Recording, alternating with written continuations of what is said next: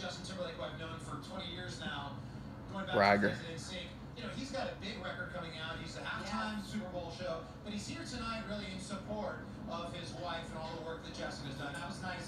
when That he nice. that how proud he was of her. Absolutely, and giving her her moment Yes. because nominated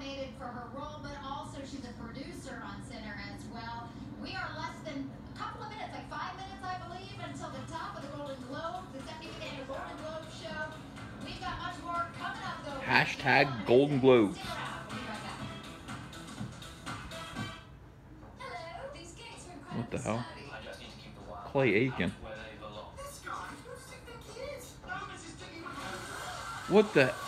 Look away. This is our ancestors' land. That looks cute.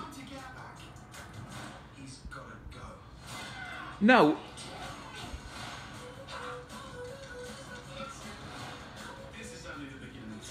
No.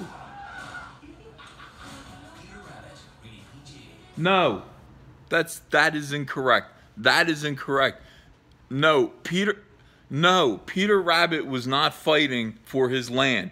Peter Rabbit disobeyed his mom and he went into Mr. McGregor's yard. Mr. McGregor did not look like Clay Aiken at all. He didn't look like Clay Aiken. He went into Mr. McGregor's yard, which he shouldn't have done because his dad was caught by Mr. McGregor, murdered, and put into a pie. His own father was eaten by Mr. McGregor. Now, that is a good reason to stay out of Mr. McGregor's yard. All he's doing is he's using his yard to plant vegetables. Peter had no business going in there and stealing those vegetables. His mom told him not to, and he did it anyway. The idea that you, you, that he first of all, and the other animals weren't even in the book. Okay, they had their own books. We're, it's not clear that Peter Rabbit had any relationship at all with uh, Jemima Puddle Duck. Was was that what was the duck's name? Jemima. Jemima, and the hedgehog was.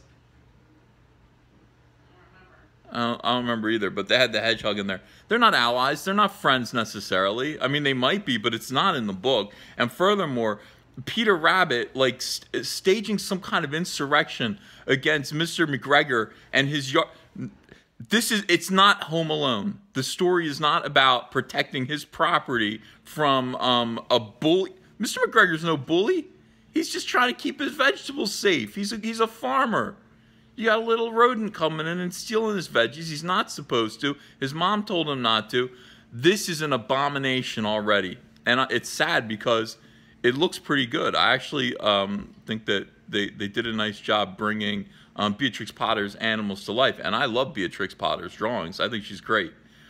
This is a disaster. It sends a, a bad message to kids. sends a terrible message to kids, babe. You know what it says? If you take your kid to see that movie, you're telling your kids to disobey you. And not only to disobey you, but to disobey you in a fit of self righteousness and arrogance and to be destructive. He- Peter Rabbit, he, he took all the electric fences down and he set him up to electric, uh, electrocute Mr. McGregor. If that day will never come where the animals in our yard sabotage our home. Never. I won't allow it. I gotta see this again. I had to rewind it. This is an outrage. Out where they belong. Why is it? Why is it that Hollywood can't? They take good and pure characters and stories with simple messages and they corrupt them. What do you mean he's gotta go? It's his house. And that's a scene from the book where he's hiding in, well, he's hiding in a, a watering can. What an a-hole. No, no, no. Somebody literally went to a producer and said, okay, so Beatrix Potter meets Macaulay Culkin. That's exactly what happened in the meeting. Like, Peter Rabbit is Macaulay Culkin in Home Alone, but he's even more like sociopathic and uh, and evil. And he's hanging out with all the animals. We're gonna bring them all together. Beatrix Potter would Beatrix Potter, dear Beatrix Potter. I'm so sorry for this. I'm not gonna. I'm I'm not going to see that movie. Are you? Are we going to see that movie? Oh hell no!